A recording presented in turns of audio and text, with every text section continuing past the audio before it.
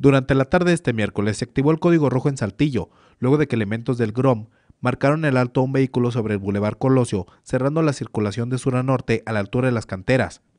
La persona detenida se identificó como elemento de la Secretaría de Marina, pero esto no les importó a los GROM, quienes querían detenerlo sin motivo alguno.